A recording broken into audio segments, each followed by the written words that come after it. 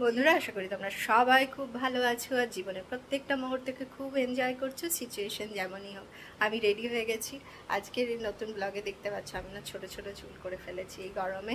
আর পারছি না, দ্বিতীয়ত হচ্ছে ছেলে আমার চুলের ওপরে দাঁড়িয়ে থাকছে সেই জন্য আমি চুলগুলোকে কেটে ছোট করে দিয়েছি। আজকে আমরা বেরোচ্ছি লাঞ্চে যাচ্ছি, বাবা মা এসেছে, তাদের সাথেও তোমাদেরকে দেখা করিয়ে দিচ্ছি। উমেশ, আমার বর, আমরা সবাই রেডি হয়ে গেছি। আর বাবা তো আগেই বেরিয়ে চলে যাচ্ছে খাওয়ার সময় হয়ে গেছে। মা এদিকে রেডি হয়ে গেছে। আর এই যে ছোট্ট সোনা ও রেডি হয়ে গেছে। এই দাদা এখন জুতো পরাচ্ছে জুতো পরে বেরোবে। ছেলেকে খাইয়ে নিয়েছি ওর জন্য সেদ্ধ ভাত করে দিয়েছিলাম ডিম সেদ্ধ আর কিছু সবজি দিয়ে ভাত করে দিয়েছিলাম। তোকে খাইয়ে নিয়েছি।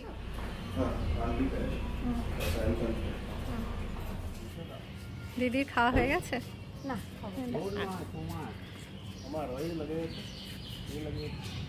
চলো চলো তাড়াতাড়ি। না একটু দু তিনটে পা ইয়ে করো। আজ বহুদিন পরে বেরিয়েছি মা বাবাকে নিয়ে হ্যাঁ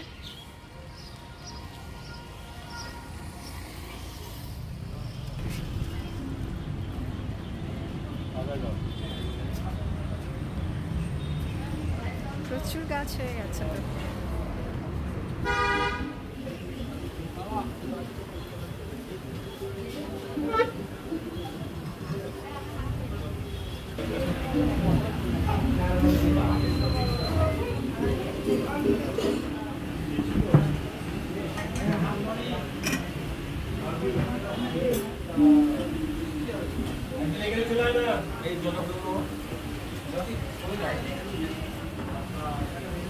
শুরু করে দাও না?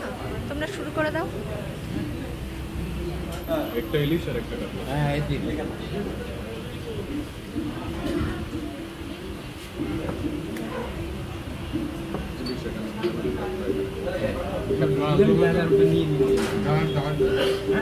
হ্যাঁ কাল মাছ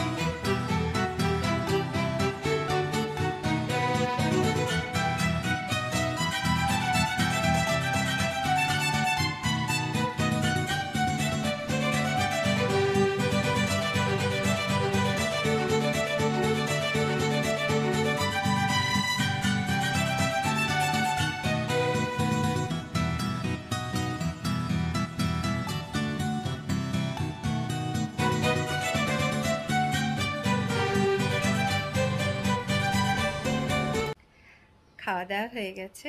বাড়িতে চলে এসেছি, এসে ফ্রেশ হয়ে গেছি। এবার আমি রিভিউটা দেব। একটু শান্তি করে বসে রিভিউটা দেব। ওখানে তো অনেক লোকজন এসেছে খাওয়া দাওয়া করছে। সে কারণে রিভিউটা ওখানে আমি অত মানে ভালো করে দিতে পারছিলাম না। তো আজকে রিভিউটা এখানে ঘর থেকে বসেই দিচ্ছি। খুব বেশি মশলা ছিল না। একদম ঘরোয়া যেরকম রান্না হয়, সেরকমই রান্না, কিন্তু খুব ভালো। আর ফ্রেশ প্রচণ্ড গরম গরম প্রত্যেকটা খাবার। প্রচুর লোকজন এসে খাচ্ছে। এটা যখন স্টার্ট হয়েছিল সেদিন থেকে আমরা এখানে যাচ্ছি। আর আজকে দু বছর পরে দেখো কত বড় হয়ে গেছে। প্রচুর গাছপালা, খুব ভালো খাওয়া দাওয়া হয়েছে। আমার বাবা মানে ভীষণ ক্রিটিক বলতে পারো, যে খুব ভালো না হলে বাবা কিন্তু একেবারে মুখ দিয়ে বলে না যে ভালো। তো বাবা কিন্তু বলল যে খুব ভালো হয়েছে আর একদম ঘরোয়া।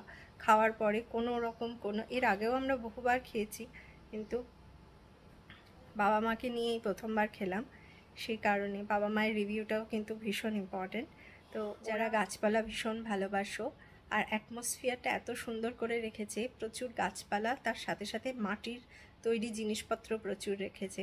ওখানে কিন্তু দুর্গা মানে মূর্তিও তৈরি হয়। আর তোমরা তো আগেই মানে ঢোকার মানে আমরা যখন এন্ট্রি নিচ্ছিলাম তখনই তো দেখলে যে ওখানে এখনও সরস্বতী মায়ের মূর্তি রয়েছে। ওখানে গীতা পাঠক হয়। আর সমস্ত রকম খাবার দাবার ওখানে অ্যাভেলেবেল সকাল থেকেই অ্যাভেলেবেল তবে আমরা সকালে কখনো খাইনি। লাঞ্চ করেছি আর ডিনারও করেছি। আর মাঝে ওখানে পাটিসাপটাও খেয়েছিলাম। তো সেটাও খুব ভালো। তো যারা আশেপাশে থাকো এবং যারা দূরেও থাকো, তারাও কিন্তু এসে এখানে একবার ট্রাই করতে পারো। আর এটা একদম হচ্ছে ডিএলএফ ওয়ানের কাছে। যদি কারোর অ্যাড্রেস লাগে, তাহলে আমি কমেন্ট সেকশনে অ্যাড্রেসটা দিয়ে দেবো। তাহলে তোমরা এখানে যেতে পারো। আর একটা কথা, এটা কিন্তু কোনো, একটা কথা, এটা কিন্তু কোনো প্রমোশনাল নয়। আমি জাস্ট আমার নিজের থেকে ভালো লেগেছে, তাই আমি রিভিউ দিচ্ছি। আশা করি তোমাদের ভিডিওটা ভালো লেগেছে। ভালো লাগলে লাইক করো শেয়ার করো, আর আমাদের চ্যানেলটাকে সাবস্ক্রাইব করে আমাদের পাশে থেকো। আবার দেখা হচ্ছে নতুন একটা ভিডিও নিয়ে। ততদিন পর্যন্ত টাটা বাই বাই ভালো থেকো, সুস্থ থেকো জীবনের প্রত্যেকটা মুহূর্তকে এনজয় করো। সিচুয়েশন যেমনই হোক।